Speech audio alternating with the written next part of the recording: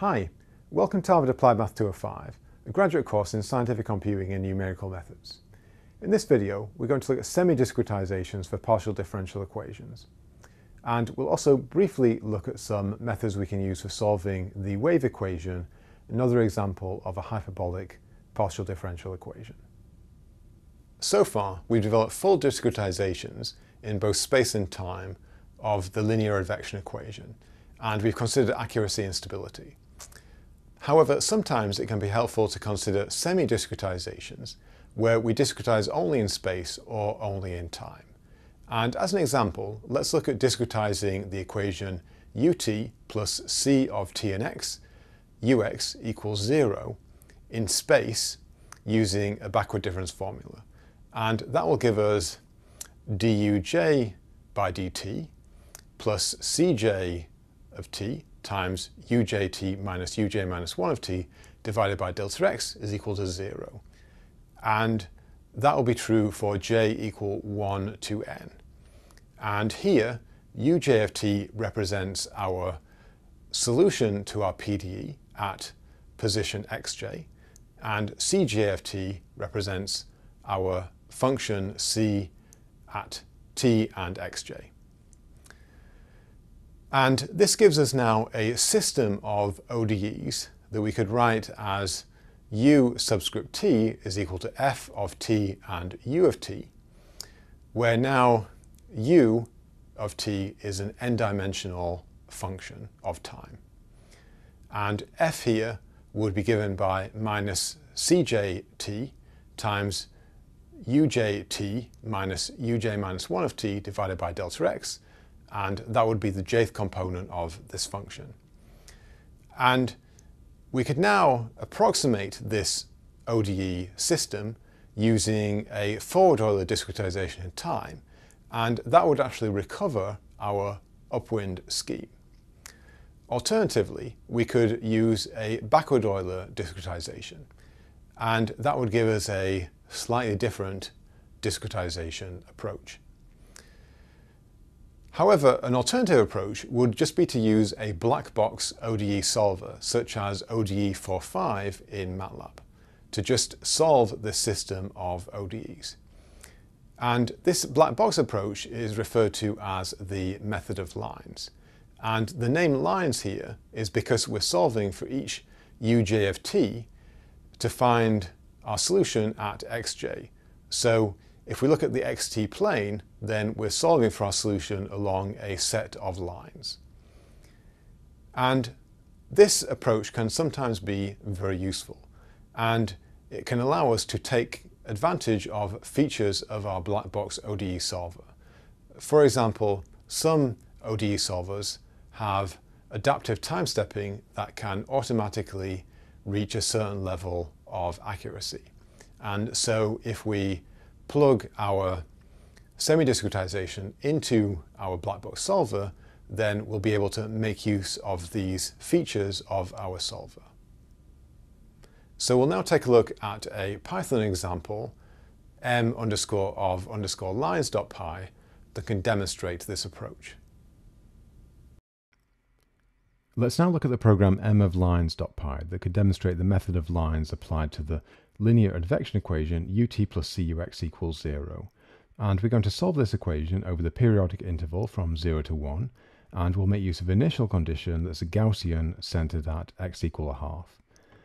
And in this program, we'll first define that we're using m equals 64 grid points, and we want 40 snapshots of our solution. And in the method of lines, we convert our PDE into a system of ODEs at each of our spatial grid points. And to solve this ODE system, we're going to make use of the ODE int routine within the scipy integrate module. And we therefore have to define a function deriv here that can evaluate the right-hand side of our ODE system resulting from this semi-discretization in space. And as described in the slides, at a grid point j, the change in the solution will be minus c divided by dx times uj minus uj minus 1. So we have this constant here that gives us the c divided by dx. And then we have the input vector u that will give us our uj terms. And to get our uj minus 1 terms, we make use of the numpy.roll function that can return back a shifted copy of a vector. And this will also take into account the periodic boundary condition. We'll then define some PDE related constants. We'll define our speed c to be 0.1, our grid spacing dx, and our constant c divided by dx that appears in our deriv function. And we'll then define dt to be 0.1 to be the interval between output snapshots that we want. We'll then define our Gaussian initial condition, and we'll then define the times at which we want snapshots of our solution. And we'll make use of the linspace function to get equally spaced times with a time interval dt between them. We'll then call the ODEInt routine to integrate the ODE system, and we'll pass in the right-hand side of the ODE system, deriv, our initial condition, u init, and also then the times that we want output. And internally, ODEInt makes use of the ODEPACK Fortran library, and generally it returns very accurate results. Typically, by default, it uses tolerances around 10 to the minus 8 in the solution and uses an adaptive time stepping procedure to reach that tolerance. And it's worth noting that internally, the time steps that ODEInt is using have no bearing on the times of actual output of the solutions. And internally, this function may be using much smaller time steps than the output times that are requested. We'll then output the results, and by default, this program will output them to the terminal. So let's now go ahead and run this program.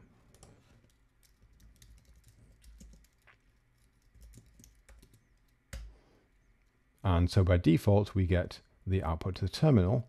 So now let's run this program again and save the results to a temporary file called out.ml. And we'll now plot the results in GNUplot.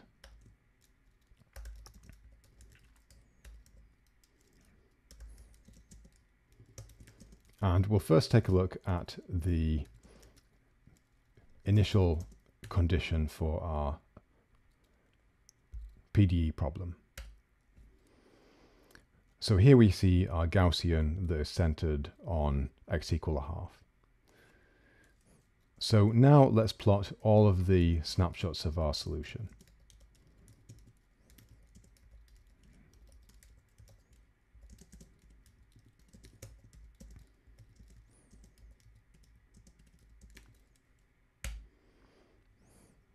And as expected, we see that our Gaussian moves rightward as time increases.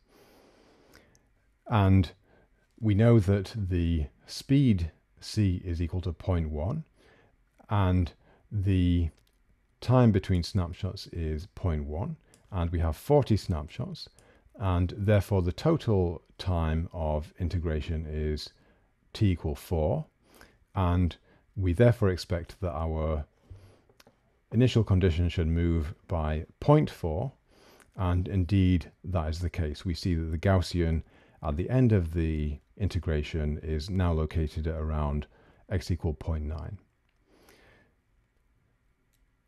Now, one thing that we can notice is that there are actually substantial numerical errors in our solution. And we see that over the time of integration, the peak of the Gaussian is damped, and that indicates numerical error, and is actually rather similar to the first order upwind method that we looked at in previous videos. And it's worth noting that even though we are doing now a very accurate time integration, that still means that there can be large spatial errors present in our solution. So it's actually worth now comparing the results of the method of lines output to our original upwind implementation using first order finite differences. So we have the program transp.py that was described in previous videos. And I'm now going to run this program and save the results and we can compare them to the output of the method of lines program.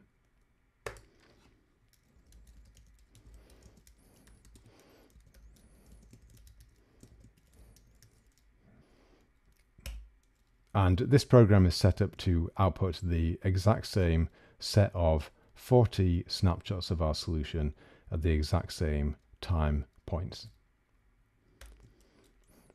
So let me now overlay the output of the first order finite difference scheme.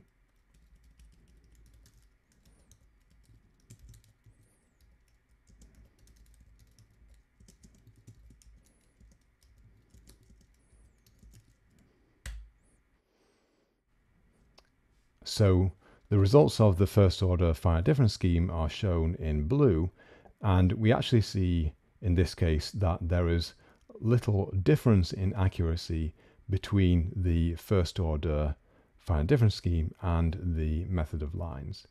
And in this case, our errors are being dominated by the spatial errors in our discretization, and therefore, even though the method of lines is doing a more accurate temporal integration, the overall error in our solutions are actually similar between the two approaches.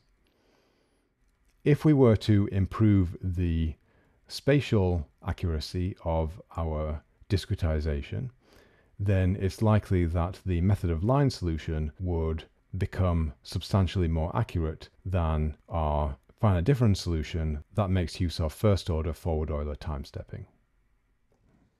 We'll now briefly return to the wave equation, utt minus c squared uxx equals 0. And this can model many real phenomena. For example, in one dimension, it can model vibrations on a taut spring. If we generalize it to several dimensions, then it can model the propagation of sound waves. Many schemes have been proposed to solve the wave equation, and one good option is to use central difference approximations for both UTT and UXX. And that gives us a scheme un plus 1j minus 2unj plus un minus 1j over delta t squared minus c squared unj plus 1 minus 2unj plus unj minus 1 over delta x squared is equal to 0. And if we perform a truncation error analysis on this scheme, we find it's second order accurate. If we perform a Fourier stability analysis, we find that the CFL number, C delta t divided by delta x, has to be less than or equal to 1. And we can also note that this is a two-step method in time. To find un plus 1, we require un and also un minus 1. And therefore, in practice, we would typically need a one-step method in order to take the first step in our numerical solution to get started in a similar way as we looked at for multi-step ODE integration methods.